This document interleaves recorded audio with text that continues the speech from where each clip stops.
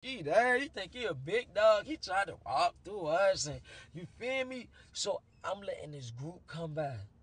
Next thing you know, a nigga hit me. You feel me? Mm-hmm. Boom, bam. Man, like, I like to you not, man. I like to you not. Like, like, it's like I had an out of body experience.